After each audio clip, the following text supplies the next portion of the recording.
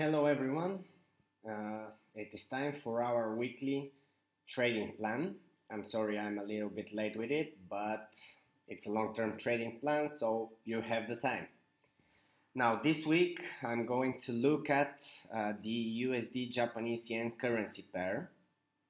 As you can see on the screen, I have opened up the daily uh, graph and uh, already drew some things which I will explain now. Currently the pair is standing at this weekly resistance area which we can see uh, acted as a support here and here. Again here before being broken price retraced back to it acted as a resistance drop down. So this is the second time the price touches this uh, resistance area now this uh, level is a weekly support area between uh, 108.31 and 108.95.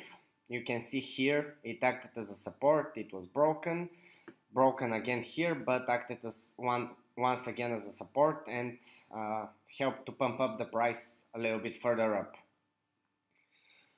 What uh, else do we notice here on the daily time frame is that uh, the pair has been in a very strong uptrend uh, from all the way back from the 26th of March. You can see how it just exploded up without uh, making any uh, corrections. Uh, actually, it just made two consolidations here and here, but it never made a nice correction to that wave. So my expectations are uh, for the price to drop down from this weekly resistance level area and to reach back to this weekly support area.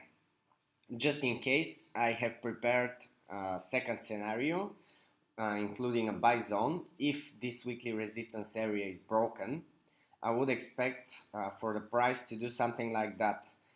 Break the area, drop down back to it and then move further up to this first H4 uh, stop level.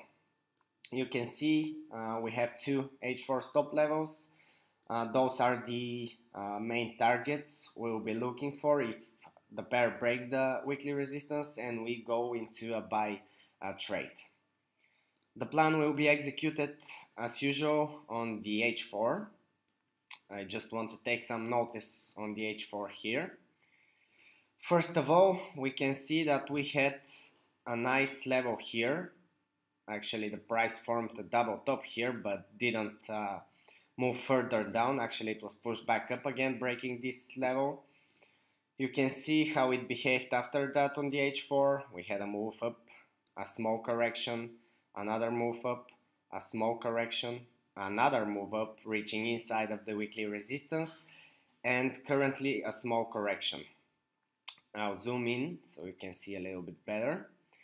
Now in this case uh, I would expect for the price to maybe consolidate here for a while but this will be the area uh, in my opinion which should be broken probably reach here do some small correction on the M30 and then continue down all the way to here and later on to the weekly support uh, area.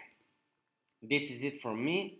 Um, I'll look for entries both on the H4 time frame and the M30 time frame, which I will post on Twitter. Uh, and you can check this plan on TradingView anytime. And in the description, I will include an economic overview for the week. I wish everyone a pleasant day and a profitable week. Thank you.